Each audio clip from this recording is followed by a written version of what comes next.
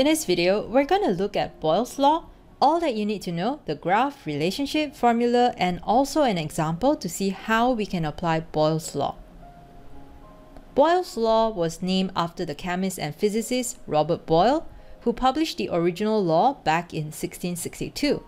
This is an experimental gas law that describes the relationship between the pressure of a gas and the volume of the container. Imagine we have a container with a movable lid and a weight on top of it. Now inside the container, we have some gas. Now let's say we increase the weight on the top of the lid. That's like saying we increase the pressure on the container. What happens is that the volume of the container will decrease and the gas will be compressed as well. And let's say we do the opposite and we decrease the weight on the lid. That means we decrease the pressure and that will lead to an increase on the volume so the gas expands. It's important to note that throughout this experiment of increasing and decreasing the pressure, the amount of gas remained the same. And the same goes with the temperature. So both the moles of the gas and temperature remain constant. We're only changing the pressure and the volume in Boyle's law. From the experiment, we can see that the pressure is inversely proportional to the volume. In other words, volume behaves in the opposite direction as the pressure. So if we decrease pressure, volume will increase. And that's how the graph looks like. We can write out the relationship like this and then we rearrange it mathematically so that if we multiply P and V, they will be equivalent to a constant which we just randomly label as K. That means if we make a change to a system, P1V1 will be equal to P2V2 because when we multiply pressure and volume, it's always equals to a constant. And so we use 1 in this case to refer to an initial set of condition and then 2 refers to the final set of the condition. There's no specific unit that we have to use for pressure and volume as long as both units are the same. Meaning the unit for P1 and P2 should be the same and the unit for V1 and V2 should be the same. Let's look at an example to see how we can apply Boyle's law.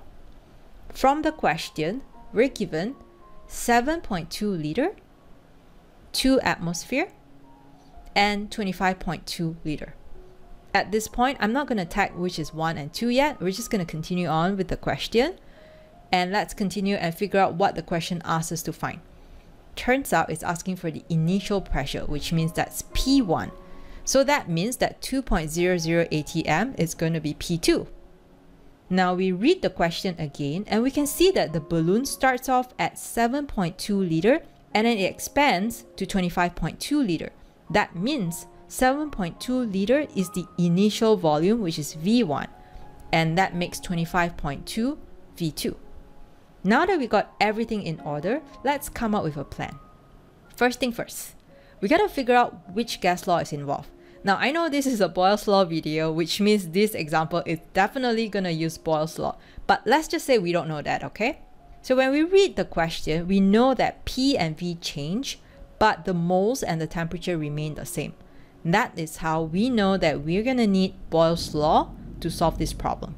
Now both the unit for V1 and V2 are in liters, they are the same unit, so we do not need to go through any conversion. So we're practically ready to plug in the values and solve the problem for P1.